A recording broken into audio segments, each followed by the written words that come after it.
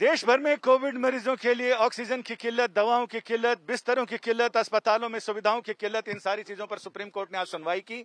Justice Chandrachud और justice S Ravindra Bhatt की पीठ ने सुनवाई करते हुए केंद्र सरकार से गुरुवार तक एक विस्तृत हलफनामा देने को कहा है। केंद्र से यह पूछा गया है कि उनके पास अगर पाँच बिंदु में अगर हम इस आदेश को सौंपे तो पहला यह कि ऑक्सीजन की अभी की सप्लाई और अभी ज़रूरत की स्थिति क्या है? भविष्य में इसमें क्या परिवर्तन हो सकता है? इसके बारे में केंद्र सरकार अभी से अनुमान आकलन करके बताए। इसके साथ ही जो ज़रूरी दवाएँ हैं, उनकी आपूर्ति को लेकर क्या योजनाएँ हैं? कैसे लोगों तक जल्दी से जल्दी इन दवाओं की जीवन रक्षक दवाओं की आपूर्ति की जा सकती है? तीसरा ये कि हर एक ज़िले के जिलाधिकारी से, वहाँ की हर एक ज़िले की स्थिति पर निगाह रखने के लिए सुप्रीम कोर्ट ने यह कहा है कि केंद्र सरकार के पास क्या योजना है जिससे कि हर एक ज़िले के साथ जुड़ा जाए। संसाधन कितने हैं? संसाधन पर अमल कैसे किया जा सकता है? और उसका इस्तेमाल कैसे किया जाए? साथ ही ये कहा है कि मॉनिटरिंग के लिए, पूरे देश के हर ज़िले के जिलाधिकारी से वहाँ की स्थिति की मॉनिटरिंग के लिए क्या इंतज़ाम है? साथ ही कोर्ट ने अपने आदेश में यह भी कहा है, ऑक्सीजन के टैंकर ऑक्सीजन की सप्लाई हर एक मरीज़ तक सुनिश्चित करने के लिए सरकार की योजना क्या है?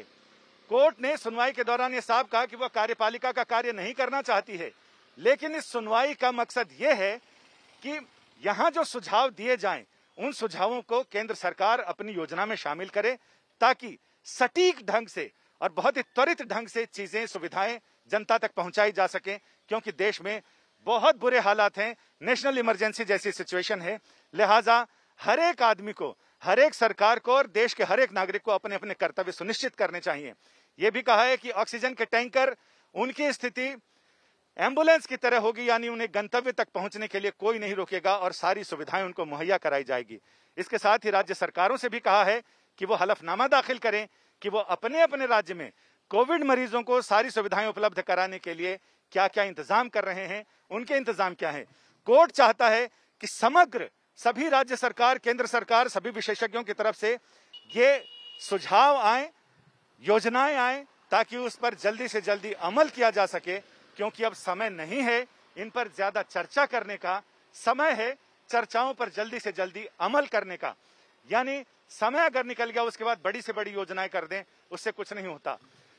कोर्ट का अभी भी मानना है कि बहुत सारा समय निकल चुका है, लेकिन अभी भी समय है कि हम योजनाओं को जल्दी से जल्दी कारगर ढंग से उस पर अमल कर सकें, ताकि जो जरूरतमंद हैं जिनको ऑक्सीजन का एक एक कतरा उसके लिए तरस रहे हैं, उन तक समय रहते सारी सुविधाएँ पहुंचाई जा सके।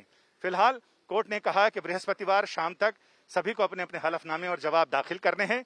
कोर्ट शुक्रवार 30 अप्रैल को दिन में 12 बजे इस मामले की फिर से सुनवाई करेगा, यानी केंद्र सरकार के जवाब पर पूरी चर्चा होगी और उसके बाद यह तय होगा कि जल्दी से जल्दी इन्हें कैसे जनता तक, पीड़ित जनता तक, देशवासियों तक पहुँचाया जाए।